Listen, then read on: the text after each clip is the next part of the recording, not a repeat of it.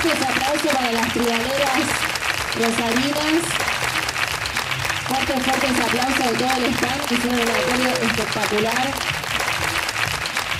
Increíble.